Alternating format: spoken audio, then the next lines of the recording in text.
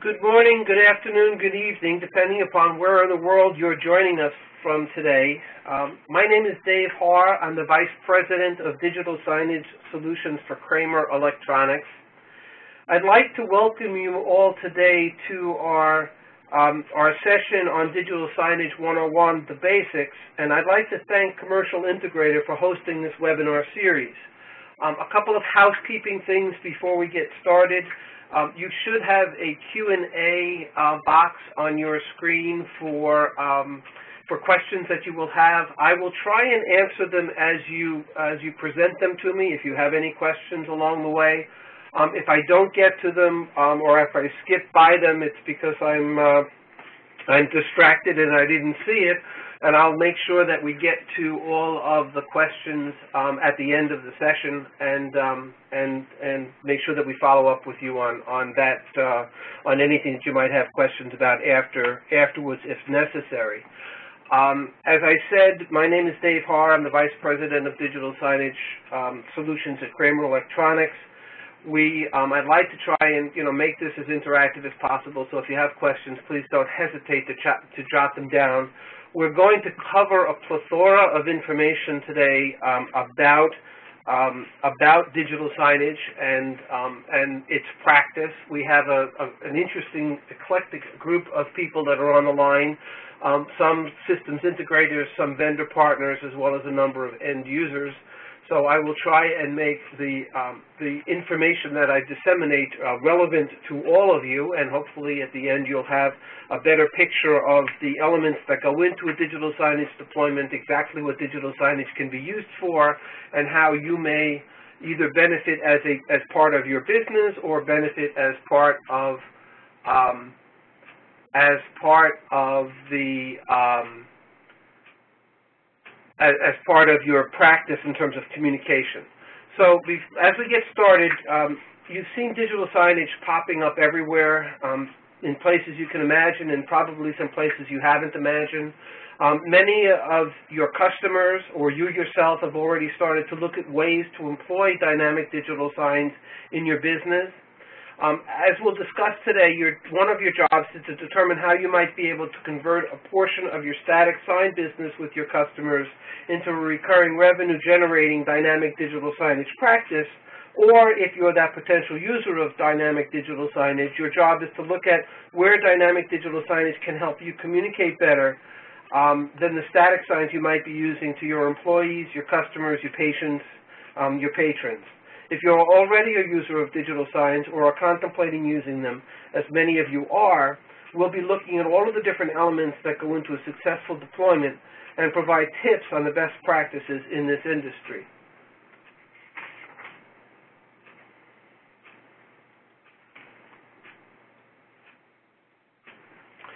Before we get started, I really want to make sure that we're all on the same page when it comes to um, the definition of digital signage. Um, in this way, we can all start on a level playing field when we're discussing um, what it might mean for you or for your business. So Kramer's definition of digital signage is, a, is that it is a network of one or more digital screens or display devices that are used to deliver the right information to the right audience in the right place at the right time. Um, digital signage combines various media types on an output display device, each in their own region, to create a message. As we will show in the coming slides, digital signage is for organizations of all sizes and all markets, suitable to one um, or for one to multiple thousands of displays. It is the result of content creation, deployment, and distribution, and it can be on a local, municipal, national, or global scale.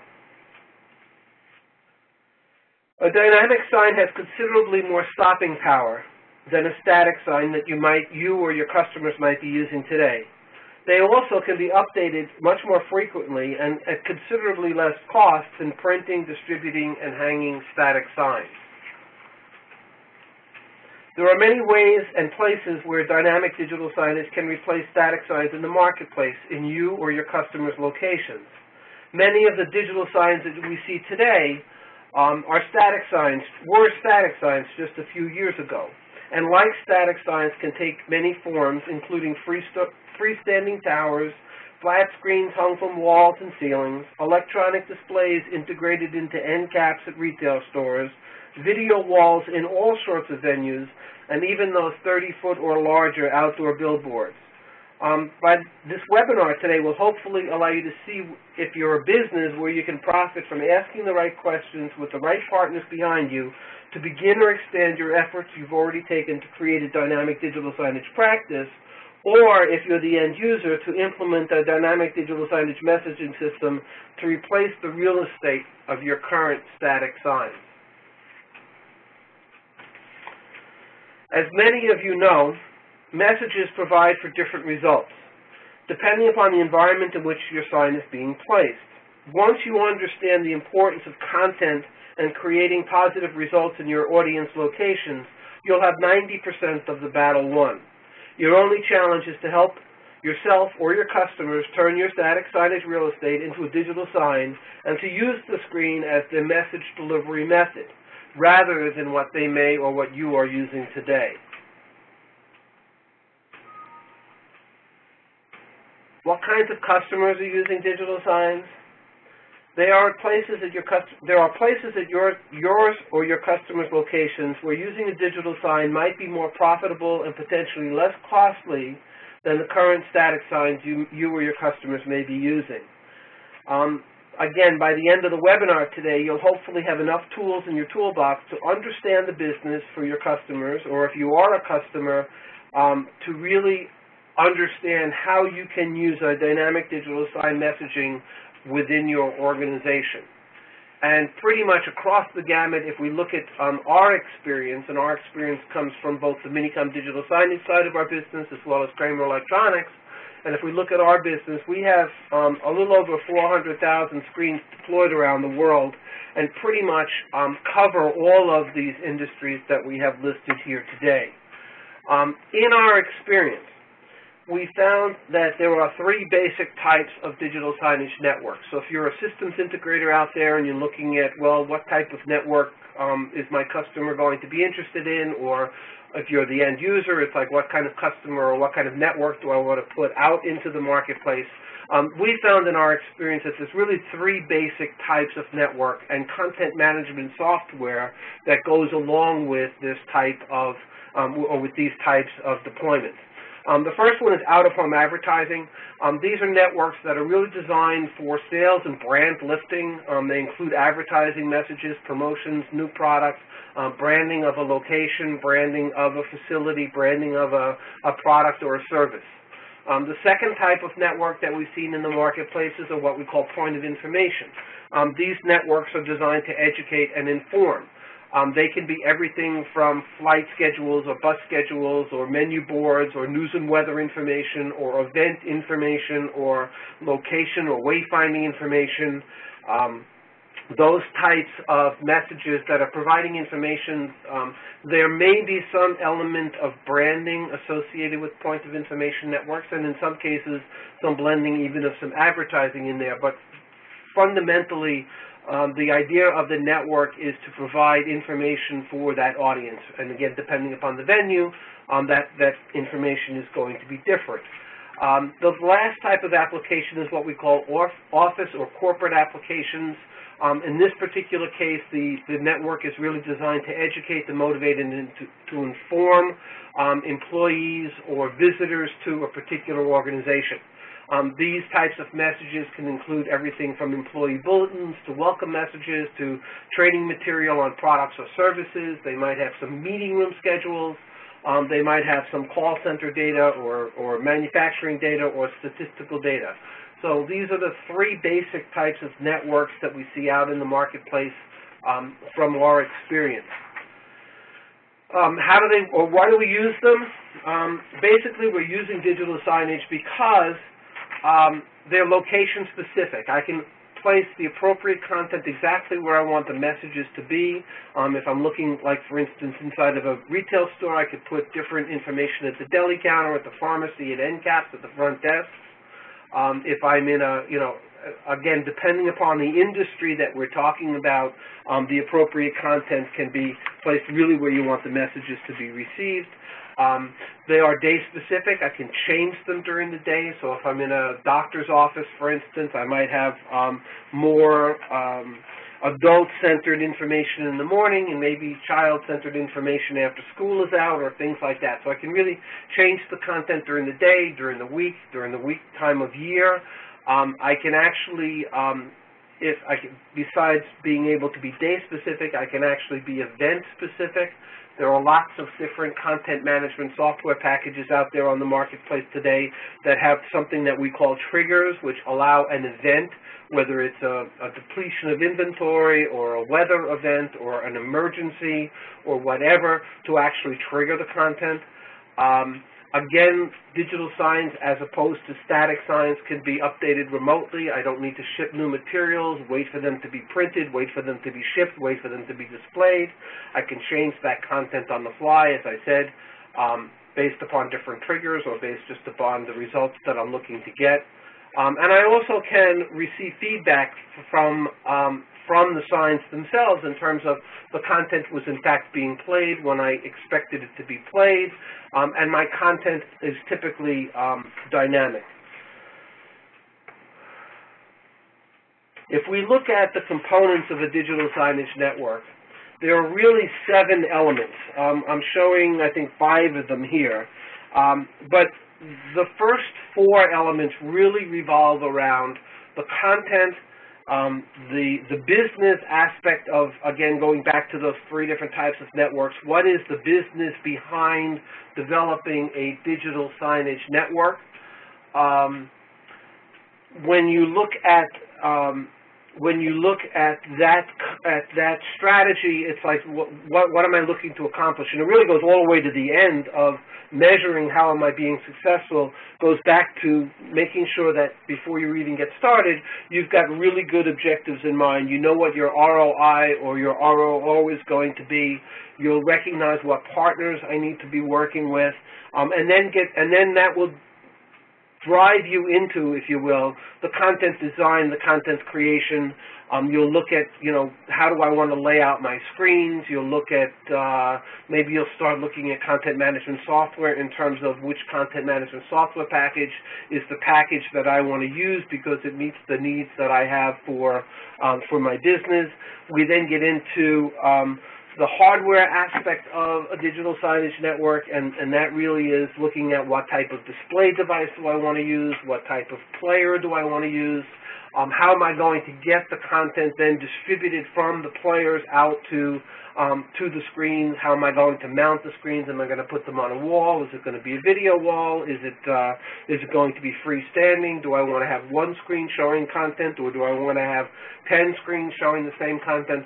All of those decisions that go into um, building um, the key elements of a digital signage network. And there's some, there's some really good information available in the marketplace and some organizations that have really studied this and, and worked with network um, integrators and VARs and network owner and operators and really put together some best practices. Um, I do have a slide at the end of the presentation that goes into some of these resources if you're not um, familiar with them at the moment. Um, so those are the basic elements of um, what goes into developing the network. Um, as I said, content is really the, the king. Um, the, the content is what's going to drive your success. Whatever your message, creating the content and keeping it fresh is really going to be um, or consume the greatest amount of budget and time. Um, it you really need to consider when you're develop, developing your network, you know, the time it's going to take to create the content, and keeping it fresh, um, the cost it's going to, to, to take to keep it, uh, to create it and keep it fresh, the resources that you may need, either internal or external to your organization for managing that content.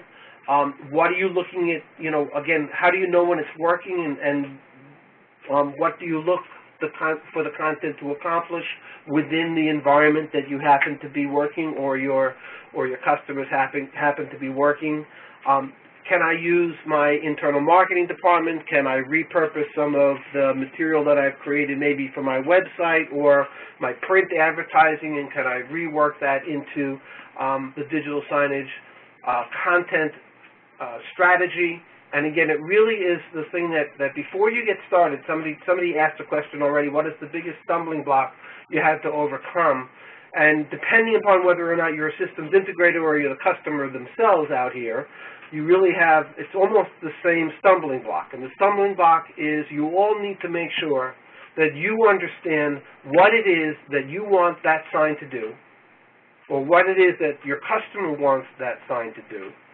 Um, and then you really need to figure out, again, um, the strategy for keeping that content fresh because it's a whole lot more involved than, okay, I'm going to put a screen up on the wall and show a PowerPoint. Um, you know, that might last for the first 10 minutes, but you really want to make sure that you understand the purpose of the screen or the purpose of the display device that you're putting in places, and that if you're the end user, you understand that creating the content and getting it to that screen is going to require resources, both time and in some cases money, to do that.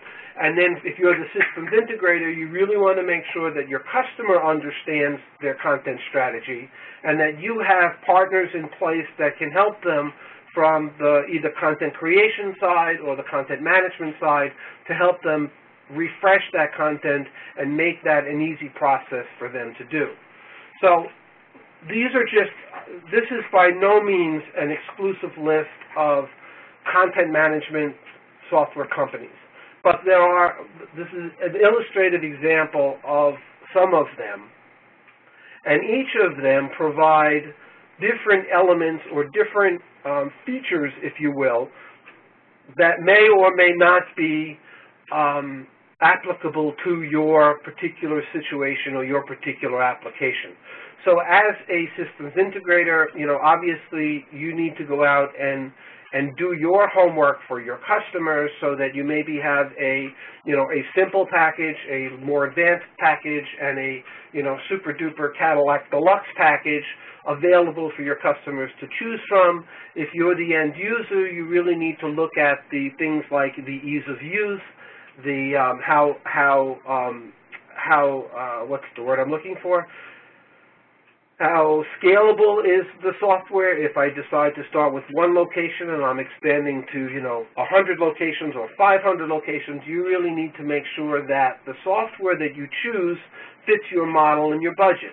Um, and there are, you know, there are different ways in which um, the content management software comes to market. In some cases, you're buying the software, you're getting a player with that software, and you're off and running, and you own it. In other cases, there's something called software as a service model, where the actual content um, is being hosted by the content management software company, and and as you as you um, license players, you would be able to disseminate the content from the host, you know, through the internet or through the cloud um, down to the specific players to get the content that you want to have played. So um, suffice it to say, it's, it is probably the most challenging aspect of moving forward with either implementing digital signage or maintaining digital signage to make sure that the content management software, in fact, meets all of your needs. Um, the next step is really content players, and this is um, this is to a great extent determined by the content management software you choose. Um, and what I mean by that is most of the content management software packages come embedded on proprietary players. Other software, you buy buying the software package, but the content management software company is providing you with all of the specifications that you need um, to, to, to pick the right PC or the right uh, appliance to optimize the performance of that content management software. So um, players, these are just, a, again, a few of the manufacturers that are out there. Many of them, DT Research, AOPEN, IAdea, all do OEM work, and actually I think Dell does as well, OEM work for the content management software, so you may not recognize this as an AOPEN player if you're using, you know, Scala or, or ComQi or whoever, um, but in fact, that's that's who the manufacturer is behind the players.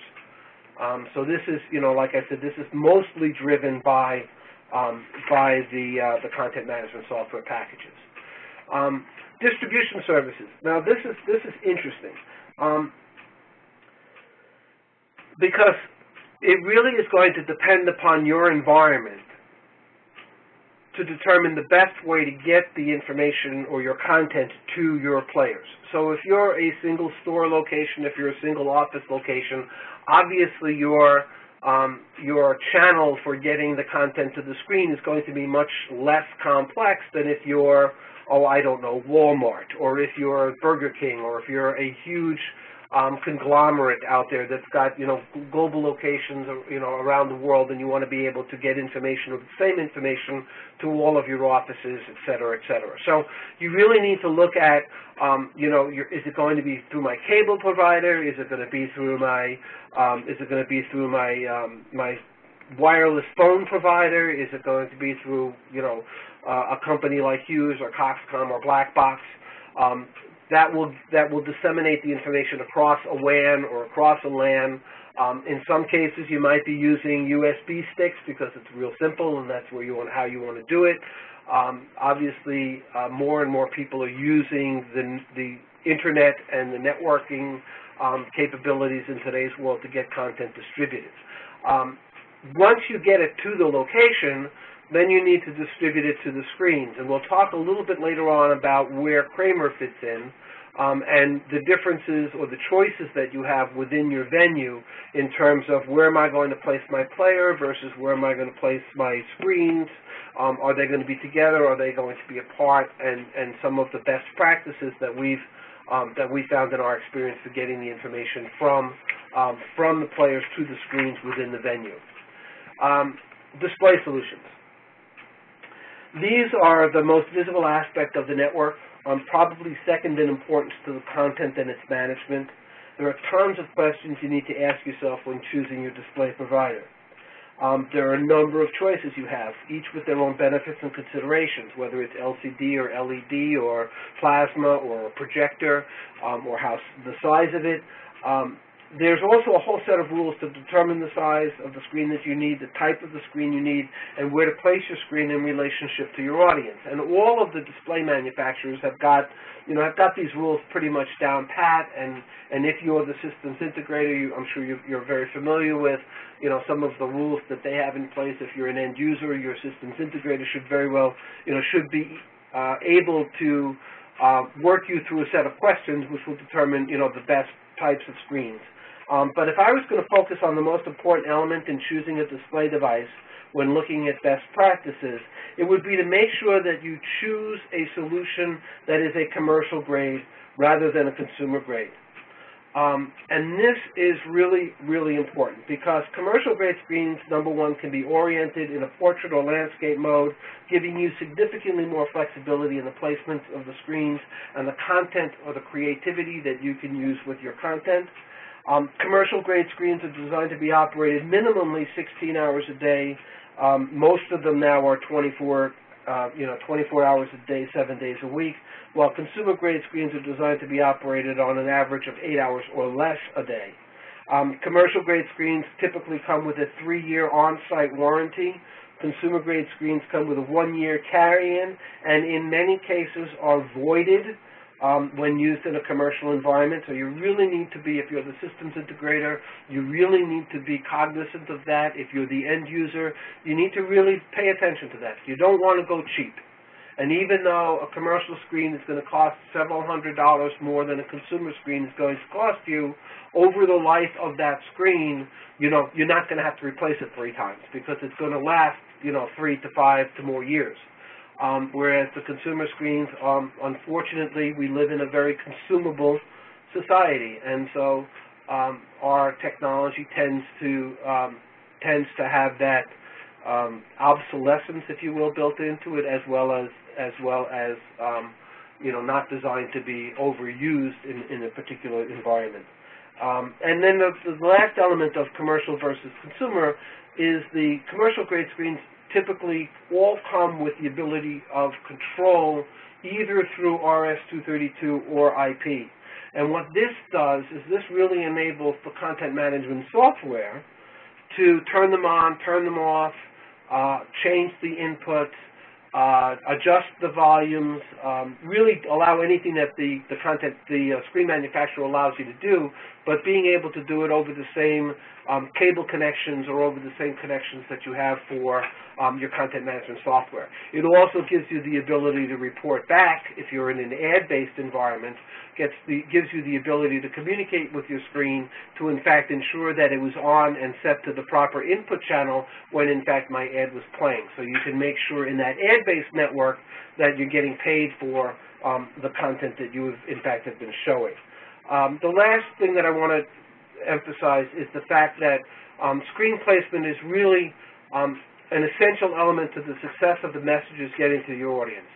Um, and placement of that screen really leads to the next piece of our puzzle, um, which are mounting solutions. And mounting solutions are not something to be taken lightly.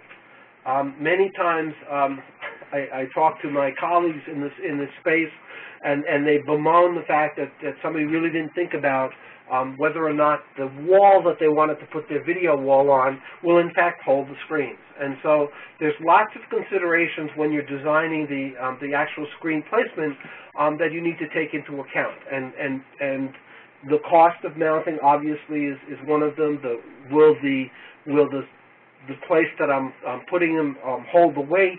Um, is there power available? Am I going to need to run power? Um, are they visible to the audience and can the audience read them? Uh, where you put your screen makes a big difference in how they'll be effective or non-disruptive to the core business.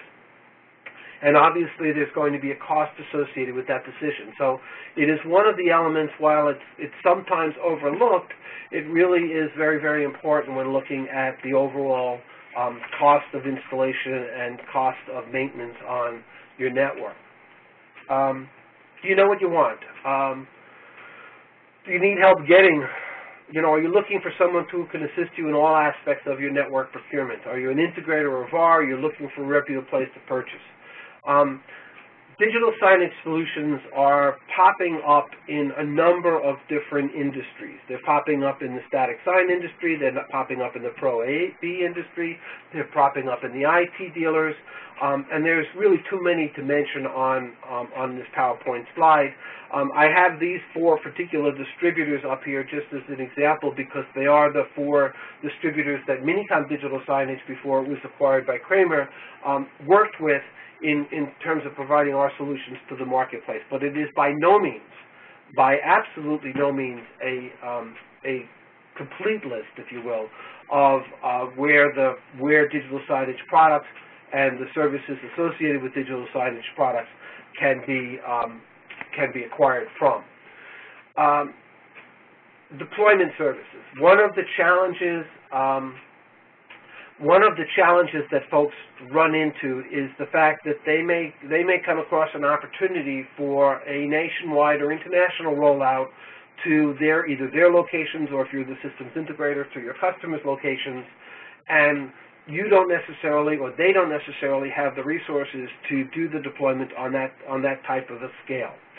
There are a number of of companies, and again, this is just an illustrative example. There are more than USSI or legacy or rollouts available um, in the marketplace. There are some associations, people like um, people like uh, oh, well, right out of my head. There's a couple of organizations within the um, within the AV space, for instance, that pool their resources together in order to help dealers um, to help dealers in um, in putting together a deployment that may that may go out of their geographic area. So this is something that uh, that you need to consider um, whether or not you need to be partnering with somebody or using the resources of your organization or um, the industry in which you, you participate to reach out to um, to another company to help you partner or to help you um, deploy the, the, the, systems out there in, into the world. Um, I've got a question about uh, insight in dealing with historical buildings and spaces. Um, this gets back, we'll go all the way back to when you're designing the space and you're designing, you know, where to place the screens. Um, the insight that I have is, is that you really need to pay attention to what the codes are, you need to pay attention to what the requirements are going to be for the building. Um, we have a number of installations that are in historical buildings where um, places like Grand Central Station, for instance, where it's very, very limited, and you really, in a lot of cases, your Um, you're using, for instance, extension and distribution equipment, so there's less um, there's less power requirements at the screen, for instance. Um, you need to, you know, pay attention to can I use wireless?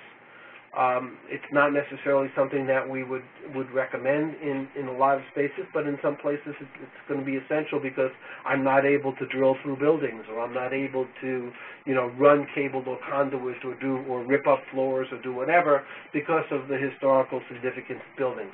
Obviously, it adds another challenge. It adds, um, it adds another element of um, design expertise that you need to have when working with um, customers that have uh, this type of spaces. But it is possible. Um, there are, you know, we've got the Smithsonian, we've got the Museum of Natural History, we've got a lot of places that are replacing the, the static signs with a digital sign, um, but they're obviously doing it in a um, non-intrusive way um, in, in, order to not negatively affect the aesthetics or the historical value um, of the property. But it is it is possible to do. Um, there are a couple of companies out there that that specialize in um, in working with historical buildings, and so we could certainly turn you on to them, um, or, or, certainly have discussions through um, through different partners. There are some considerations when you when you consider designing a network, when you consider um, switching over from a static sign to a digital sign, um, and obviously the, the, the first one that pops into everybody's head is um, is cost. You know, is there there's going to be an investment, and and so depending upon again, really depending upon your environment, and you know, the, the wonderful challenge that I always say is that digital signage is so unique because every answer, the, the answer to every question is, you know, is it depends. But cost is going to be a problem, um, or it's going to be a consideration. There are lots of different financing and leasing options and creative financing that folks can use these days for digital signage networks. Um, the thing that I want to emphasize over on, on the cost side of things is it really is critical that if you're especially dealing with multiple locations, that you run a pilot, that you don't that you don't just wham bam, let me go out there and put the whole thing in because that's that's that's the way I want to do it. It's like run a pilot um, and really run the pilot primarily for the content side of things. Um, you know, I, my screen manufacturer friends will hate me for saying this, but a commercial screen is a commercial screen is a commercial screen. Obviously, there are some significant differences between the different manufacturers that are out there, but you know, the, the end use the end user is going to experience an image on a screen. Um, you need to make sure as the systems integrator or as the network owner operator yourself that you that the your money is being spent wisely and that when I decide to really pull the trigger on spending more money, that I have the concept tested, that it's been proven that the content is doing what I need the content to be doing, and so by rolling it out, I will just get more and better results from that content. Um, the other thing is that digital signage, one of the other considerations is that these networks can, can sometimes be complex. And, um, and you need to involve in the decision-making process and in the design process all of the interested parties within your organization, or if you're the systems integrator, all of the interested parties within the customer's organization so that they understand the purpose of the network and the benefit of the network before you really even get started. Um, and that way, if, if IT needs to be involved, or finance, or marketing, or sales, or human resources, or all of those folks that may in fact benefit from the network are involved in the process, it's going to be much easier for them to pull the trigger and move forward. Um, and then the last thing, obviously, is the return on investment, because it's not always money. Sometimes it's an objective. Sometimes it's a behavioral change. Um, sometimes, that you know, it's just, you know, decreasing perceived wait time is, is a classic example of, of what um, the results somebody is looking for from a digital signage network. So it really, really is important that the, you define your objectives if you're the end user or you work with your customers to make sure that they understand the objectives, objectives of their network um, and, and they are monitoring the progress frequency, frequently. Um, you know, make sure that that somebody's paying attention to the content, somebody's paying attention to the results. Um, and as a result, the, the, the, networks tend to expand, or, or the, you, if you're the end user, you'll see other uses for screens maybe in other areas of your business, and, and it really becomes a very, very viable um, communication tool for you, to your customers, to your patrons, to your employees. Um,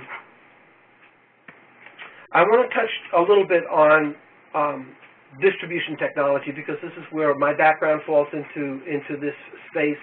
Um, and I also mentioned earlier that we were going to touch on it. I'm not going into into very uh, big detail here. I do have a complete webinar on um, the cost ramifications of player placements. Um, but there really are two choices when you're when you're looking at designing your network. One of the choices is to put your players right at your screens. Um, there are some benefits to that in terms of I can have different content on every screen. I can use existing network infrastructure. I can I can potentially use wireless communication to get the content to the screens. Um, and I'm producing a playlist per log per screen so that I'm, I'm able to uh, report back. Um, some of the drawbacks of a player at the screens are the maintenance issues that are involved with um, accessing and servicing that player while it's sitting at the screen. Um, many times the price the, the price of the, the players are going to be prohibitive because, especially in, in some environments, environments, which I'll talk about in a minute, um, it's going to be less, much less expensive to use distribution and extension equipment than a player at every screen. Um, and also, in the in the case of the, the players that are built into the screens, um, many times they're going to have some limited application in terms of the types of content that they can play back, the types of files that they can handle, the size of the files that they can handle. Um, and obviously, another may be a drawback, may not be a drawback, but there is going to be a significant amount of IT um, administration involved with uh, a player at screen network.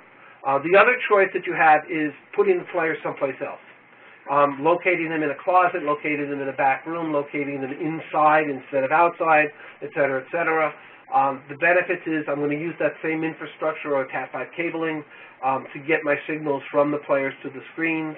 Um, if, I'm in, if I'm in that one-to-many environment, um, like I'm showing there in that upper, the picture on the upper right-hand side there, uh, the content uh, the content is going to get to the screens all at the same time, so I don't need to deal with timing issues. I don't need to deal with network bandwidth issues. Um, the servers, the, the servers are all consolidated in one room. That room could be secure. Um, I don't need to deal with my network because I'm completely out of band. Um, one of the drawbacks is the fact that, you know, I am using dedicated cabling, um, and I'm not necessarily using that network infrastructure, um, you know, as part of the network, but um, it is something that is, uh, and we'll show you in, in, the next slide, something that is that you need to consider. Um, in our experience, as I mentioned before, we've got over 400,000 screens out there. There are really just three times when extension and distribution solutions should be used or should be considered. Um, and this is by no means a hard and fast rule. Um, it, it, extension and distribution probably represents between um, 25 and 40 percent of the of the pie, if you will, in terms of um, the application in digital signage. Um, the other um, 75 to or 60 to 75 percent is putting the player at the screen. But you should consider using extension distribution when you're simultaneously showing the same content on multiple screens. The reason is that in 99% of the cases, the content management software companies are charging you by the player license. If you are using or sending the same content to multiple screens within a venue, it will always be less expensive to use extension and distribution systems because, number one, the receivers tend to be less expensive than um, the players, and number two, there is no recurring fee on every player for that content stream. Um, you're paying for the one player, and it could go to you know five screens or ten screens or 200 screens, depending upon you know the environment that you're in. But it's going to be um, it's going to be uh, less expensive to use um, distribution and extension rather than the player at every screen. Uh, the second scenario is whenever I'm putting screens in places where it is either difficult to reach during business hours or reaching them during business hours is going to, disrupt my business. So examples of this might be a shopping mall where I can't bring in a forklift and the screen is, you know, 10 feet off the floor. I can't bring in the forklift during the day. I need to wait till after the mall is closed. And I'm, you know, obviously paying for security and paying for um, additional costs associated with, with servicing the players. Um, and regardless of the fact that players are, in fact, becoming more and more robust as the digital signage industry matures, they are still the piece of the puzzle that require the most maintenance. They require the most hand-holding and touching and updating and doing things to um, more than any other piece of the digital signage puzzle. So servicing them becomes a huge issue or a major issue, and you really want to avoid maintenance costs or additional maintenance costs when you when um, when you're placing, you know, when you're considering the placement of those players. Another example would be like a quick service restaurant where I can't have the player behind the screen because I can't get to it during lunchtime. And if it's down during lunchtime, I'm missing the opportunity or I, or I need to make sure that I built in redundancy so that I have an opportunity to keep that screen alive. Otherwise, I've got a dead screen during business hours, and it really is going to affect the business or the cost more, um, again, to access it. And then the last scenario is when I'm putting screens in places where it is a harsh environment for the player. Um, that menu board with the fryer grease and the dust and dirt that comes up from the from the fryers is an example. Another example might be a manufacturing plant or an outdoor menu board in a, in a fast food restaurant. Again, I don't want to have the players outside. I want the players in a, inside in a safe and secure location. Um, just very quickly, this is a list of some of the solutions that are available from Kramer. We have both analog and digital distribution systems as well as our own media player. Um, I'm not going into any of this today. In fact, if you're interested, I do have a webinar coming up next Monday on going into all of these solutions. But otherwise, you know, call up your Kramer person or get in touch with Commercial Integrator, and they can get in touch get you in touch with Kramer, um, and we can set you up on on a webinar going into our solutions. This is not the place. Um, this is just another slide about who we are. Um, we've got 30 years experience in this industry. We've got over, as I've mentioned before, 400,000 screens deployed. Um, many of our solutions are award-winning by various digital signage industry um, organizations. Um, the, the, Kramer itself is located in 23 countries. We've got a very partner um, and customer-friendly atmosphere. we really look towards a high-value price-performance ratio um, when, when looking at digital signage and when looking at deploying digital signage solutions.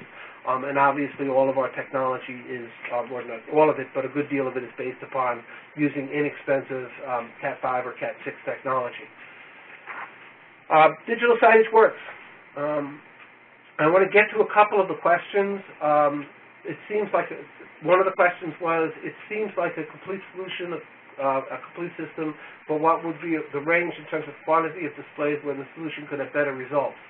Um, I, Sergio, I, I, don't remember exactly where you asked that question, um,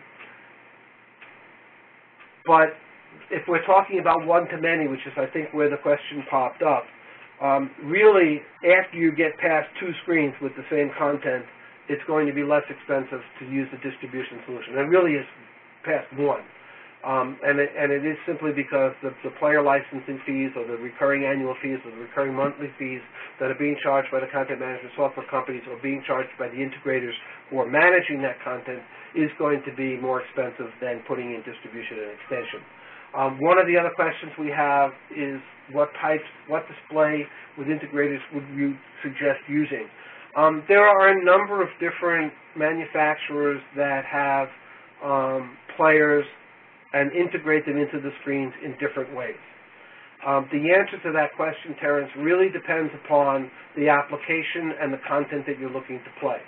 So for instance, um, Samsung is one of those that has actually built a player on a chip. Um, and that's fine if it's a relatively simple application. The software, the content management software, the Magic Info software that they ship with it is a very simple, um, not a lot of zones, not a lot of capability, not a lot of storage available, um, but works in, you know, works in, in, in, it's pretty robust and it does work in a number of different environments. Other manufacturers are taking advantage of things like the OPS slot, which is a, um, and I never remember what OPS stands for, but it is a, a, a screen interface that was developed by Intel that allows for a device to be slid into a slot onto the display, and those devices can be anything from, for instance, we have an HDBaseT receiver that would go into that slot. So I can use that with my HDBaseT extension systems, and my only connection at the screen is a Cat5 cable. Or there are players that are using those slots. And so a lot of it depends upon, like I said, the, the content that you're playing and whether or not the player that, that is integrated is going to be able to handle the content that the customer or you are looking to use. Um, it's, a, it's a tricky question, but there are, you know, there's some pluses and some minuses. Um, again, I would only use integrated players when I'm in a one in one screen environment and I'm not planning on send, sending or showing the same content on more than one screen. Um, I definitely at that point in time again move into a distribution environment um, and use um, signal extension and distribution to get the signals uh, to other screens. I mentioned very early on that there are some other um, sources of information. Uh, this is just a um, a partial list, again, of organizations that support digital signage from the Digital Signage Federation, the Digital Signage, Signage Screen Media Association. Um, Digital Signage Expo is a show that Kramer will be um, exhibiting at coming up in February in, um, in Las Vegas. Uh, InfoComm, which is another uh, trade show in the Pro AV space that I know is supported by Commercial Integrator and others um, is, is in June, and we again will be at that, and there's a pretty good digital signage presence at InfoComm. Um, NRF, the National Retail Federation or Foundation, um, is an organization that, that works with the, uh, the retailers of the world that has its own trade show that again has digital signage associated with it. So um, lots of different sources of information that are out there in the world. Um, I think this is the last slide. Oh, nope, I want to acknowledge some people. Um, digital signage, there's a, there's a book out there that's called It Takes a Village. And really with the digital signage marketplace, we really found, we really want to point out that it takes a partner. Um, there are very, very few, uh, there are some, but there are, there, there are the, the, the organizations that are doing soup to nuts in digital signage um, always have partners that they're working with with some element of um, of the network, whether it's on the content creation side or uh, the, the management side or the servicing side. There's there's always going to be partners. Um, I want to thank the, the following people: uh, Dale Smith, who was former director of business development for Peerless.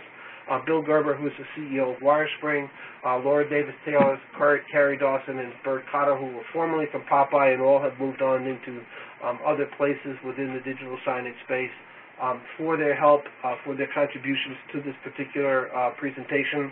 I should also throw in the Digital Signage Experts Group um, and, uh, and, and their uh, expertise, Jonathan and his, and his father, uh, Jonathan Brawn and his dad, um, have provided some of the, the input and some of the content to, uh, to today's presentation. Um, all of the logos are industry marks of the property of their respective owners, and I Again, it takes a, the book, it takes a village. Um, digital signage, it takes partnerships. I want to thank you all for your time today. Um, if anybody's interested in getting in touch with me directly, here is my contact information, my phone number, and my email um, address. I want to again thank uh, Commercial Integrator for hosting this partner webinar series. Hopefully you found it um, to be worthwhile and informative. And if you have any other um, Here's another question. Are there resources available for someone brand new to digital signage to help direct them to find the right manufacturers or components? The, the answer is yeah, and we showed it in a couple of slides ago. Uh, one of the good places to start would be with the Digital Signage Federation or the Digital Signage Screen Media Organization. If you are a systems integrator, Digital Signage Expo is the place to go because it is really the only um, trade show that is 100% dedicated to the digital signage marketplace. And you'll see content management software companies there, display manufacturers, um, component manufacturers, content creation companies, um, really all of the puzzle pieces, the, the mounting companies are all um, displaying at Digital Signage Expo, which is coming up in February. Um, but those are, again, just some of the resources that are available. Um, the one thing that I would that I would caution you on, or the one thing that I would suggest, if you are a systems integrator and you're looking at going into um, the digital signage marketplace is to is to number one pick your partners carefully and don't go hog wild. Um, you really, you know, if you if you want to work with like I like I mentioned earlier, a good, better, best strategy for content management software, then then pick a good, better, best. And there's you know there's 2,500 content management software companies, and I'm and I don't think I'm exaggerating. Um, probably 250 of them are the leaders. The 80-20 rule exists in digital signage like it exists everywhere else.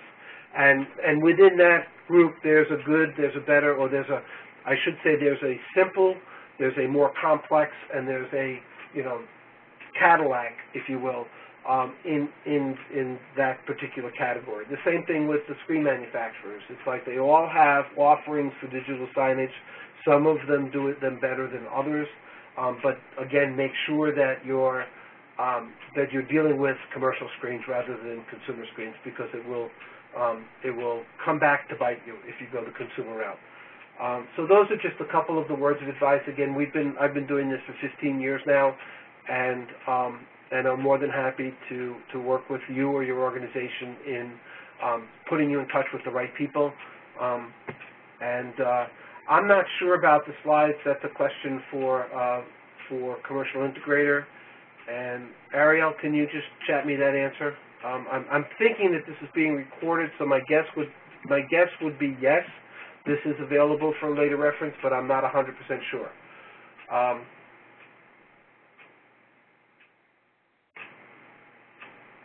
it is available on commercialintegrator.com. So, like I said, the uh, this presentation is available. It, you just go to the commercialintegrator.com website, and you can, um, I think, participate in it again, and um, issues, you know, and and whatever. I have another question that actually came up here in the chat box. Uh, hold on a minute. Mentioned commercial versus consumer. We've used commercial and had issues with EDID I did when using different computers. Um, we ended up using da da da da da. Um, EDID is actually something um, that Kramer has its own training system or training sessions on. Um, it does provide you with some challenges in the digital signage space, um, but all of our equipment, you know, will manage EDID. Um, it is it is something that uh, the commercial screens typically um, what difficulties with commercial screens did the consumers do not? The answer is there's no there's no additional difficulty at all. Um, commercial screens actually will have more um, more features built into them that will help you manage them from a from a networking perspective, um, and will will help you. Um, you know, they they they have more flexibility, if you will, in terms of matching up the content um, or the, the format of the content with um, the, the, the, particular content management software players that you might be using. So um, it's, it's again, I, I, stress over and over again, um, a consumer screen is not the way to go in digital signage. You really want to deal with or you really want to work with um, the commercial manufacturers and, um, and their solutions because they are designed for the robustness and the um, the environment, the, the, the, all of the different elements that go into placing digital signs are are really being worked on very heavily by the, the screen manufacturers, and they put a lot of time and effort into um, into those designs. So again, I um, if you have questions on EDID, again, I'm not necessarily the technical person to talk to about it, but I know that um, at Kramer we've got our own uh, our own uh, certified digitalist training that we do around the country that provides for um, the type of training talking about all of the different digital signals, whether it's HDMI or DVI or DisplayPort, um, or um, the analog signals that exist out in the world, and, and how to handle issues um, when you're using different computers in a particular network. Um, but there are ways to get around it. There are ways to um, make sure that, in fact, you're, you're uh, maintaining the communication with your screens. Not a difficult uh, Um, one other question. Would I suggest enroll an all-in-one solution with a company that offers hardware and software or mix and match product offerings within different companies? Um, and I'm not sure if you're an end user or a systems integrator, but um, the answer to that question is that there are a number of systems integrators out there that um, that do the entire, you know, that, that have put together or done the homework for you in terms of the, uh, the different hardware and software packages. If you're an integrator, which you just indicated that you are, um, I would not stick with one company necessarily that's going to offer all of the hardware and the software. They, um, there are a few, um, actually, there, there really isn't one solution because um, while you, while you, if you looked at Samsung, for instance, as a screen manufacturer that has their software built in, or NEC that has their software built in, um, those solutions are going to be somewhat limited. And, and while they may, they may meet the requirements of a certain percentage of your customers, um, they're, they're not going to be a be-all, end-all. And so you're going to have to have a few different choices within your toolbox when you're going out. Um, and the other reason is that, that unlike, you know, most pro AV or IT installations, if I'm dealing with a data center or if I'm dealing with a conference room, I've got pretty much a, a, a pretty standard set of, of products that I'm going to suggest for that solution. In digital signage, they because every installation is different and everybody's content requirements are going to be different, um, it, it really requires a little bit more um, flexibility on your part in terms of knowing what's available and knowing what's going to meet your customer's needs. I always used to tell a story. I've been in the computer business. I hate to date myself, but I've been in the computer business since 1981. And, you know, when Apple IIs and, and 8-inch floppy disks and all of that stuff was around, probably before many of you were born. But the fact of the matter is that we used to say in the 80s that everything that you have today is obsolete that you're buying today is obsolete. And in the computer business back in the 80s, they had, you know, Apple and IBM and Dell and DEC and, and all of the players back then, Atari, all had a different computer every 18 months. And so, you know, customers would come into your store and they'd look at a product and they'd say, I can't buy this. It's, you know, it's, it's, I'm waiting for the next thing. And in, in that case, you're never going to buy anything. In digital signage, it's sort of the same thing where you know, there's so many different changes coming from the technology perspective, from the content management software perspective, that a lot of the things that are available today are changing. And so as a systems integrator, you know, you need to look at the history of, your of the companies and the partners that you choose. There are some companies that have been in this space for, you know, the 15 years that the space has existed, and it's important that, that and they understand the, all of the different puzzle pieces. You know, it really is, um, it really is, uh, when I go back, when I go all the way back here, I don't know if I can do this by memory, but if I go all the way back to the beginning, and we talk about, hold on, I missed it. we talk about these components of a digital signage network. You know, there are some, there are manufacturers on the mounting side, on the on the screen side, on the distribution side, on the content management software side that have been doing this for a long time. And their solutions are solid. Their solutions continue to be um, accepted in the marketplace. They obviously evolve. Most of the content management software companies have a upgrade path or a you know, a service path, if you will, for um, maintaining the content or maintaining the software over time. Um, all of the hardware manufacturers are, are presenting at least a three-year, if not longer. Kramer has a seven-year warranty on their product, so it's going to last you through the time. But again, having looking at one solution that offers both hardware and software is really going to be um, problematic in terms of in terms of your success. Um, can you start there? Sure, but I wouldn't I wouldn't necessarily stay there. Wow, this hour went fast. Anybody have any other questions?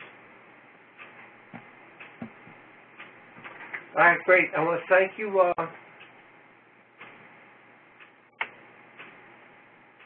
the answer to that question, do distribution systems have the capability to add ad hoc users or add messages to specific screens? Really is not a function of the distribution system. That's really a function of the content management software. Many of them have the ability for local input. Many of them have the ability to um, to um, many of them have the ability to have uh, you know emergency overrides, for instance, uh, based upon triggers, whether it's a weather event or a you know a God forbid you know human event. Um, so all of that, that really is a functionality of the software. It's not necessarily, the distribution system is just going to take whatever's coming out of the player and distribute it. So, um, and I can do within within different distribution systems messages to different screens or specific screens. Again, that's a function of the software um, and the and the channel of, of communication, whether I'm doing IP streaming or um, or matrix switch or something else. Um, signing up for the other webinars, uh, the easiest thing is is to email me, um, Anthony, um, or and and I can send you a link to that uh, webinar. We did send out a announcement um, the other day, and I think we have another one coming out um, either later today or tomorrow. Um, but I will make sure, uh, as a follow-up to today's meeting, that I send you the link for the webinar on Monday at 11. All right. Any any other questions?